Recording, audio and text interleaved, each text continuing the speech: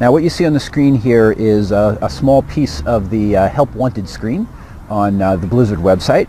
and I focused in on a few of the job descriptions here to kind of give you an idea of the characteristic types of people that get involved in these sorts of things. So you can see there are really some interesting, um, interesting job titles like 3D prop artist and uh, effects artist and um, senior 3D environment artist. All sorts of very particular jobs, but I'm going to focus in on some of the main ones to talk about the kinds of people that work in these uh, that work in information systems design in general in this case particularly in, in game design but really in general